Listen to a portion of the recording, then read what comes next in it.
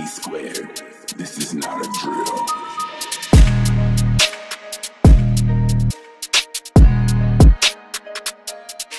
Thank